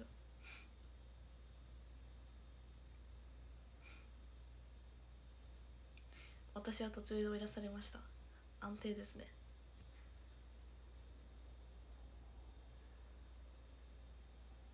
これがい毎日さそのブロックとかしても一日で治ってくるからさ意味ないよね。嫌なことを言われてさブロックしてるのに一日で来られたらさ解除されたらさ毎日しなきゃいけない。3回目はもう3日とか 4, 4回目は1週間。もう5回されたら永遠ダメみたいにしないと。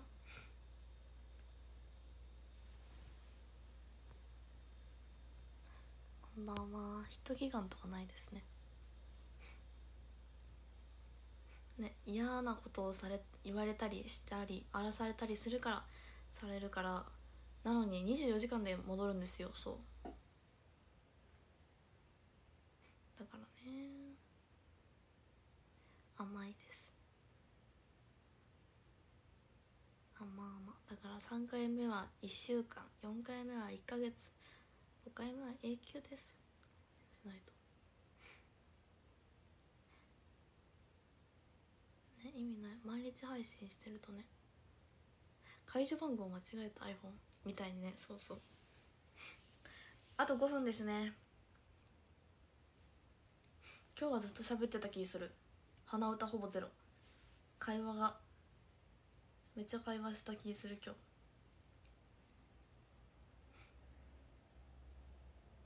生誕祭行きたいのに夏のツアーは我慢するのだ。えー、でも1回ぐらいいいんじゃない夏のツアー。どこが近いの？ねの今日はめっちゃ喋った。めっちゃ会話しました。そうヤンマガさん見てください。アクセス数大事なので。朝と夜朝昼夜毎日見てください。明日雨なんかな？どうなんだろう。寝る前に見よう寝る前に。それきりのクリックしてます。やった寝る前に見たら夢に出てくるかもしれませんよ。寝る前に考えたこととかが夢に出るので。なので。そう同じ PC でも意味ある。っぽいです調べたら。だからアヒルボート。の写真見てたらアヒルボートデートしてる夢かもしれない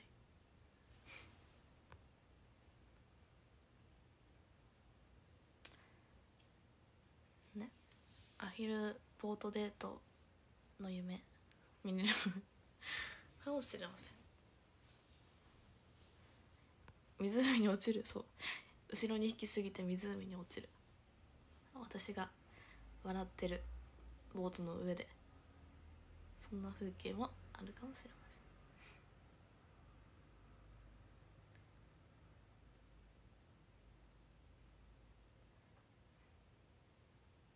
でも結構さ寝る前に考えたことが夢になったりするよ。よしあと3分だから団長読みます。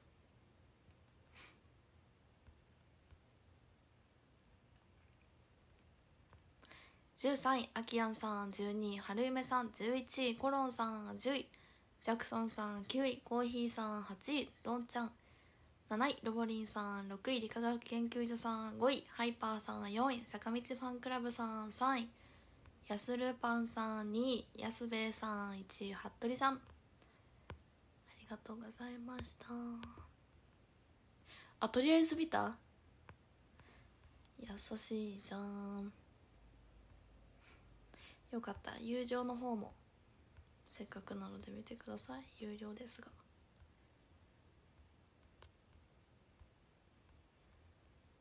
うん今日もありがとうございました。ありがとうございました。明日火曜日だ。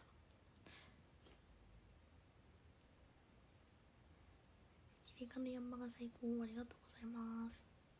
明日は火曜日ですけど山が期間中なのでツイートをします。後ろにかかってるミートフォークで刺される夢。そういうのもあるかもしれませんね。それから逃げないと。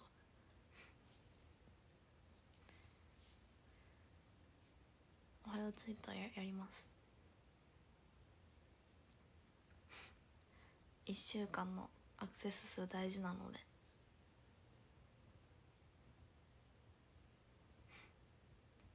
うん。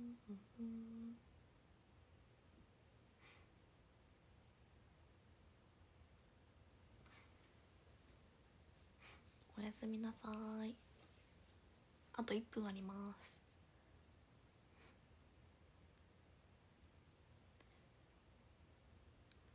おやすみなさい。そう明日も明日も見なきゃ。今日も見てください。リンクも貼ってあるのでここに。うん。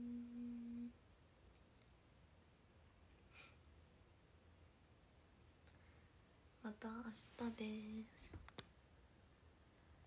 携帯があんまり熱くならないようになってきた。治ることあるバッテリーなんでだ。クジラクジラクジラだったっけな。そうアヒルクジラとアヒルがいたっけ。ってことでおやすみおやー。